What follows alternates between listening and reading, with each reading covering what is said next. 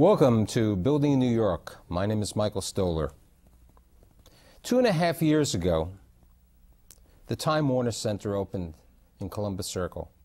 Many people consider the Time Warner Center the Rockefeller Center of the 21st century. Today, I have an individual who is the co developer of the Time Warner Center, an individual responsible for major developments in Paramus, Hackensack, all over the country, the chairman, the founder of Apollo Real Estate Advisors, the chairman of the board of Mack Cali Realty, also the senior partner of the Mack Company, Bill Mack, William Mack. Thank you for being here. Thank you for having me.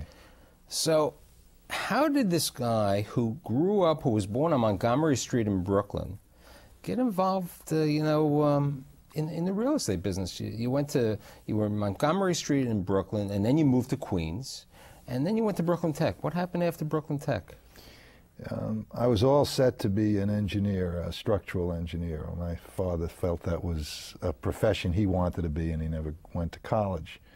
So I was about to go to to RPI, and I, I really would have made perhaps a mediocre engineer at best. And I said to my, my dad, I said, you know, if I may not like engineering, so let me go to Penn, University of Pennsylvania, and if I don't like it after the first year, I can switch to the Wharton School.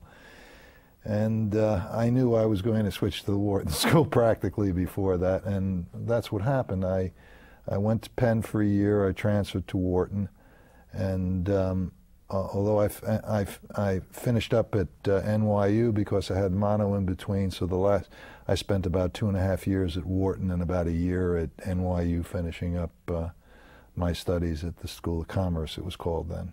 So now you're what? You're 22 years of age, and you you get a job as a leasing broker.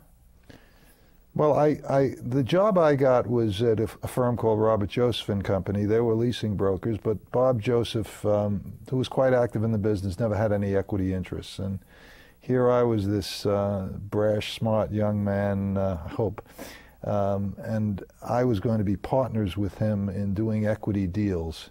And so when I came in, uh, we started looking at things to buy. Um, and that quite never worked out, but I certainly did learn a lot in the eight or nine months that I was there about um, the industrial real estate business. And then you went out to Jersey. I mean, you, your father, the family was in Queens. Your father had built certain warehouses and loft buildings in Maspeth and other neighborhoods. You decided to go out to New Jersey. Why New Jersey? Well, I, I saw at Robert Joseph that um, most of the inquiries, other than Manhattan, and really the bulk of the inquiries around the metropolitan area for new warehouse space were in New Jersey. New Jersey was a foreign place to me, so I started looking around and started seeing what was available, but I saw that there was a trend by being in his office um, based upon the requirements. Uh, he sent out a lot of uh, advertising mail, and they'd come back, and uh, he'd just farm them out to the different places, and he'd keep the ones that were uh, New York uh, loft, you know, loft leads. And now you're you're 22 or 23. You take a trailer, right? You took a trailer and, and you decided to build a loft building. Tell us about that. No, it was it? Well, lofts were not in the, my no, no, I mean, vocabulary. It was one-story industrial. What? That was what it was. But um, we came upon a piece of land that was affordable and that was well located. It was and was good for someone to start business in. It was a five and a half acre piece in North Bergen, New Jersey, near the Lincoln Tunnel. And um, we finally closed title uh, in probably June.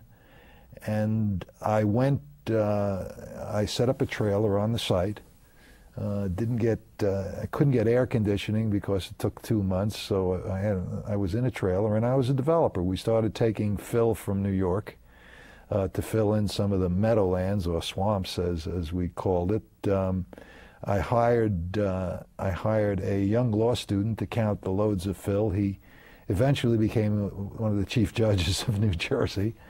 Um, and I was in business. I was a developer. And um, oh, I, so what was the?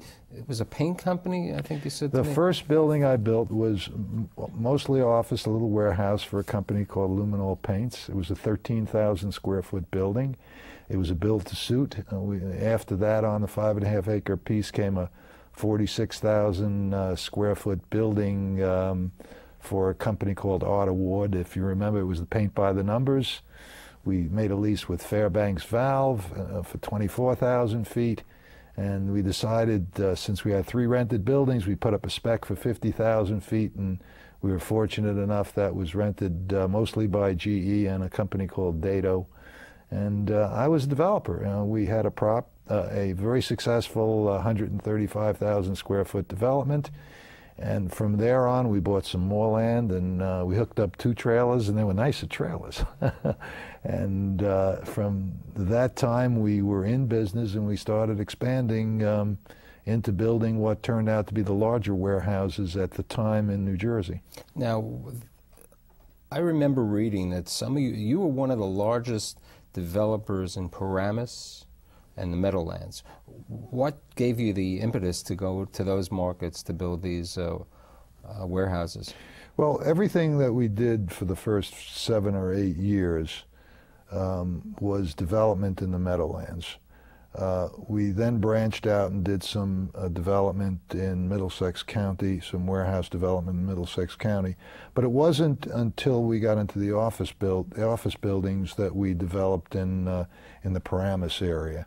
So it was mostly Hudson County, um, North Bergen, Secaucus, and Middlesex County, Piscataway, and Edison in, in, the first seven or eight years. And in that time, we probably built eight or nine million square feet of warehouse buildings, um, maybe close to 10, mostly on a build-to-suit basis. I would say that no more than 5% of those buildings were built on speculation.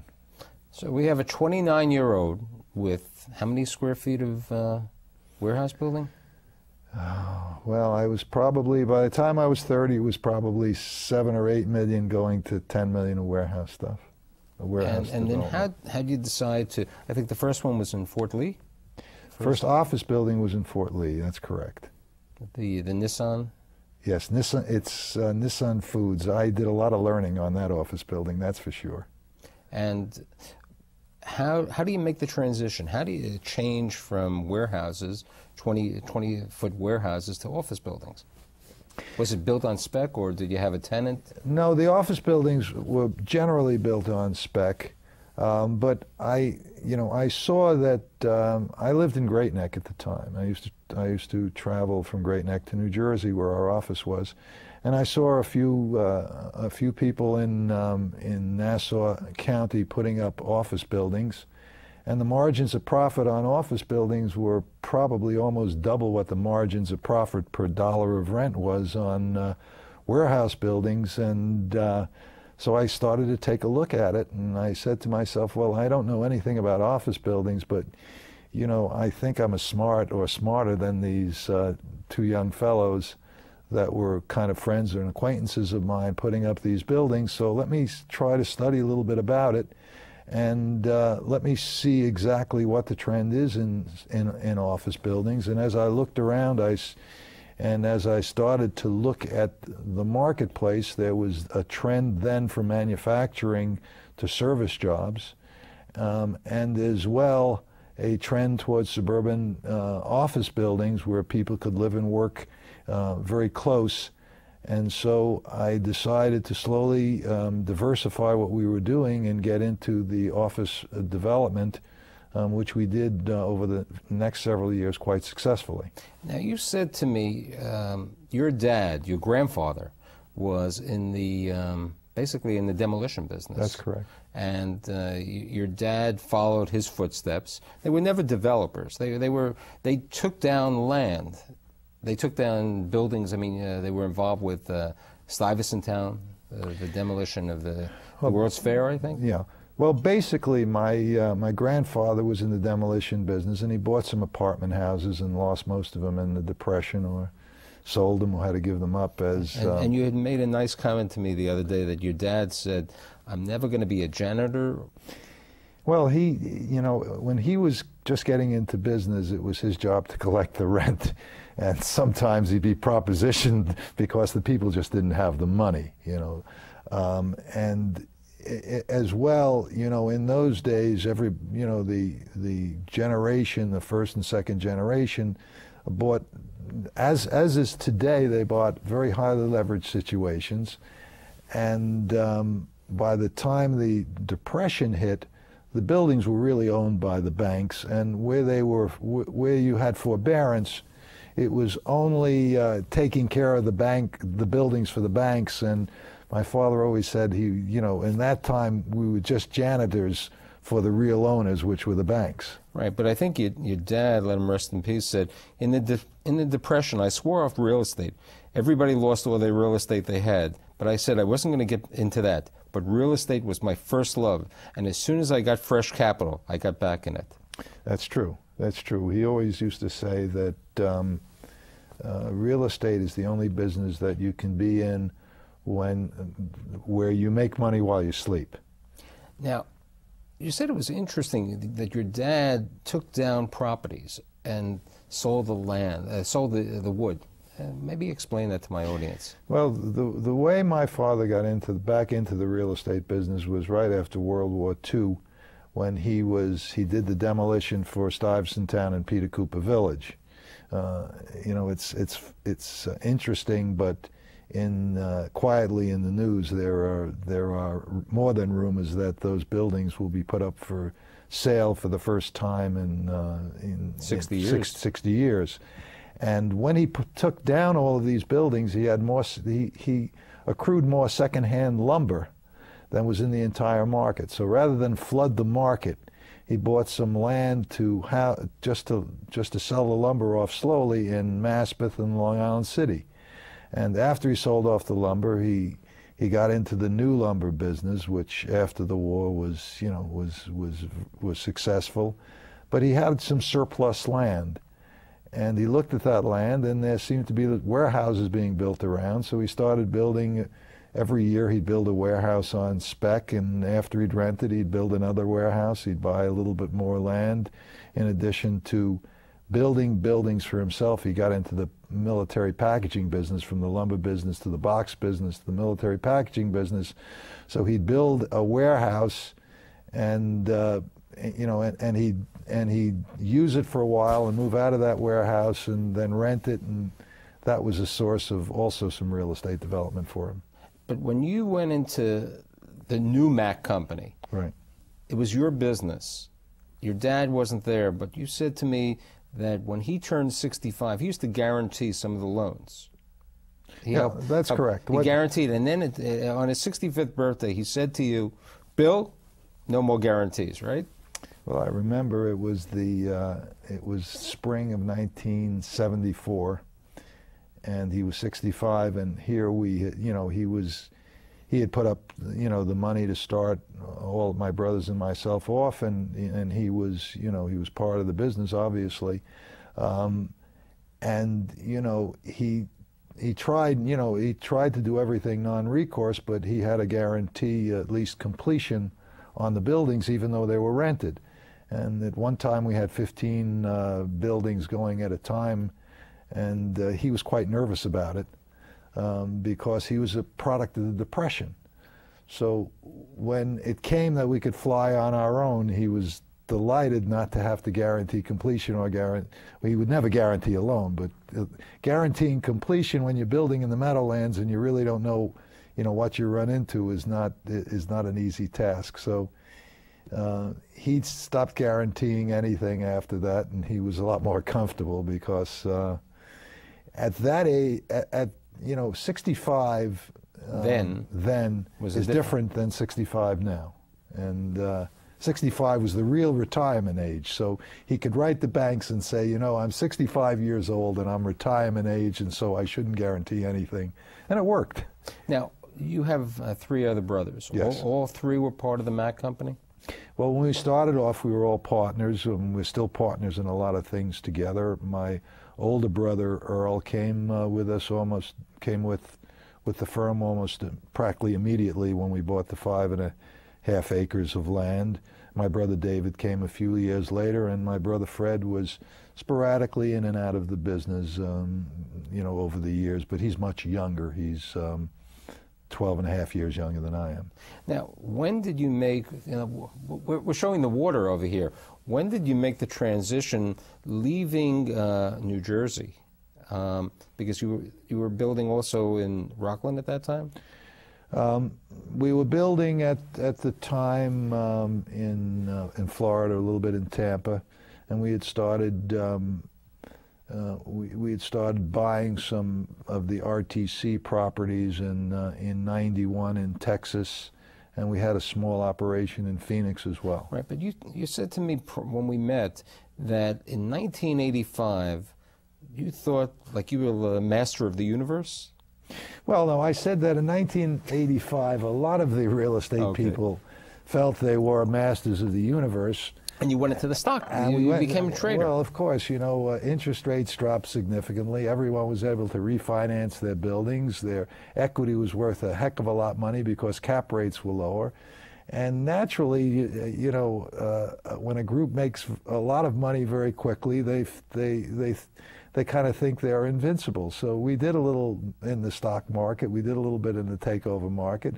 We found out we weren't so in, invincible. We didn't lose any money. We had some good ones, some bad so, ones, and so, made a little bit, but it was interesting. But you know, you, you've spoken at Wharton. You've spoken all around the country, and, and you, you've always said there. Uh, we all know there there are cycles in the real estate business, and you've seen the ups and the downs. And you were talking about 1991, the RTC.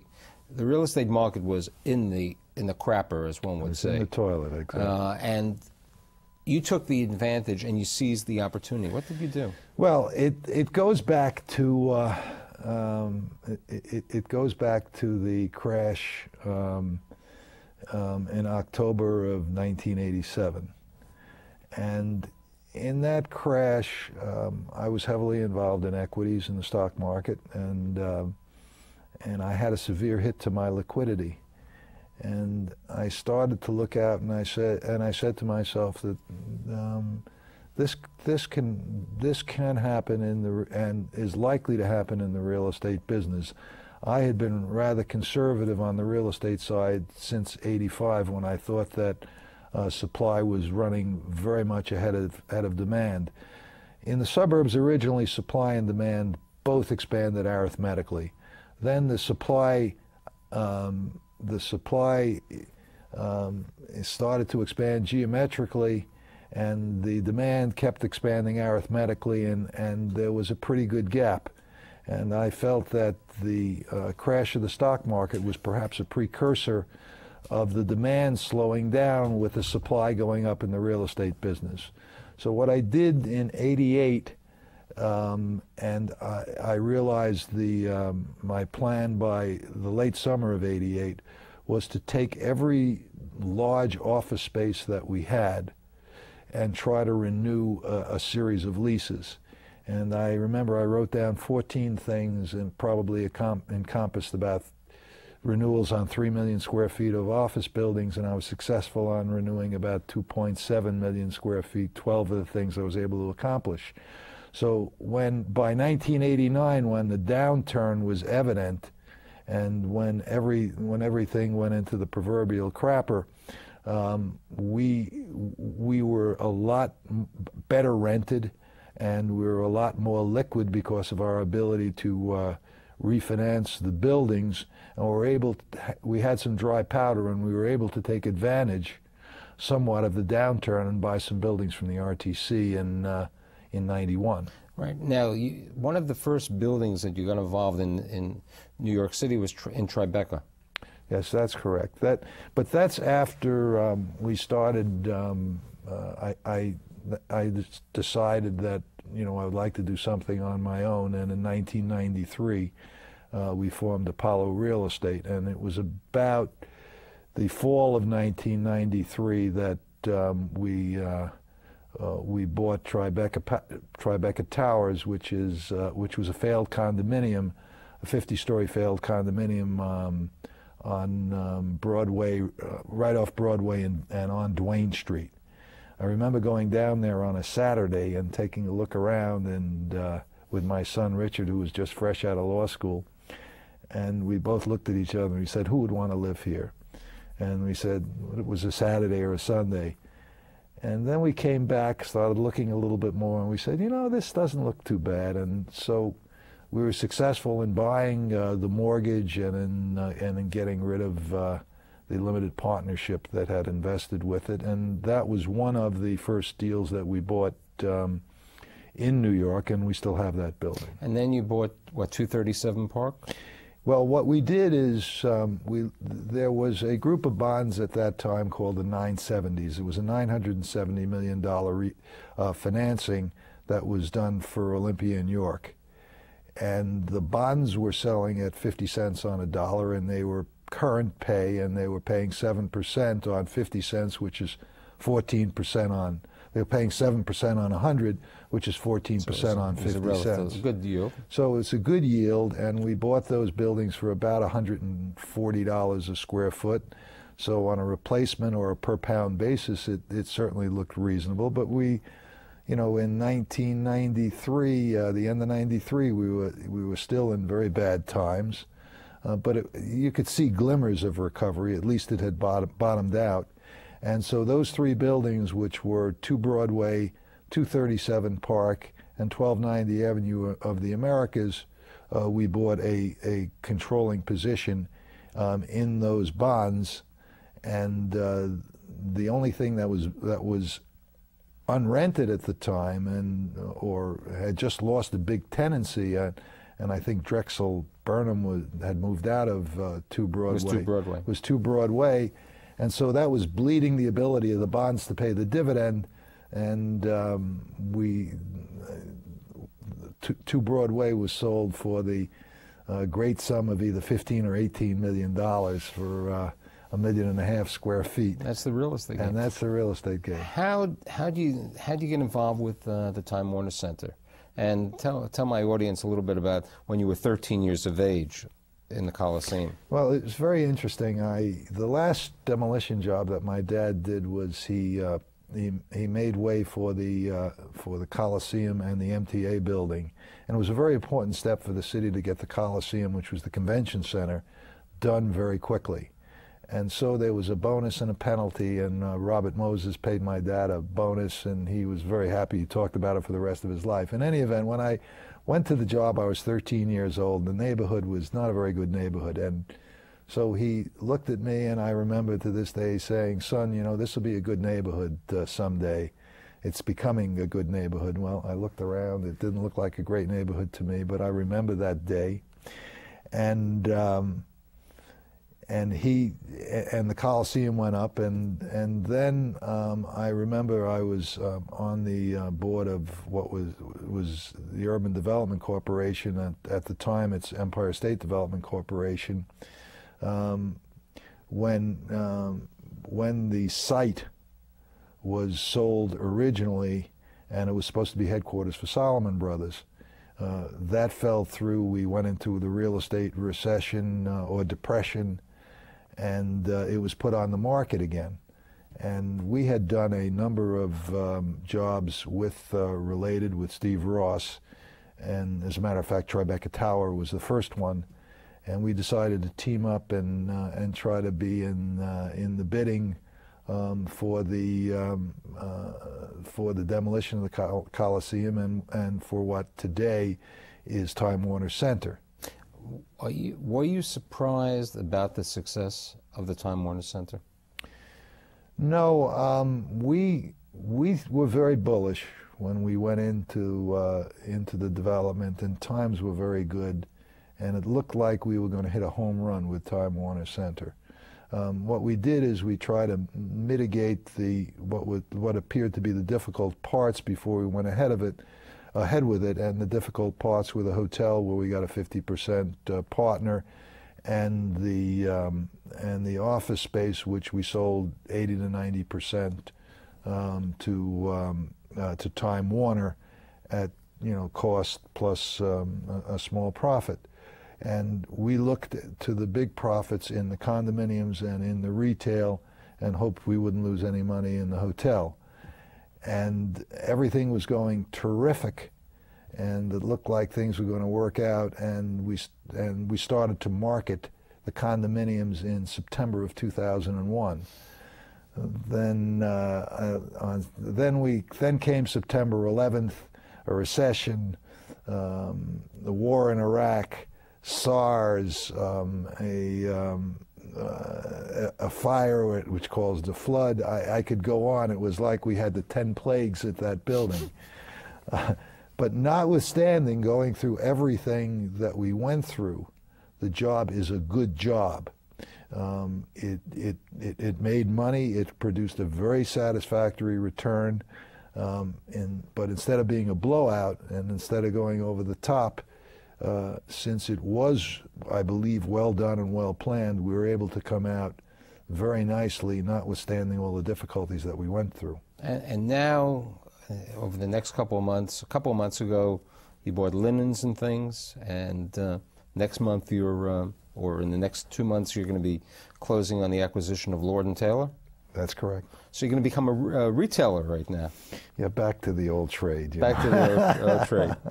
And, and, you know, what you, uh, what Apollo, and I mean, Mack Cali is one of the largest REITs in the country with more real estate in the Northeast than most uh, REITs. Um, you have truly uh, been involved with building New York and the tri state region. And I'd like to thank you for being here today. Well, I thank you very much. It's a great pleasure to be here with okay, you. Okay, great.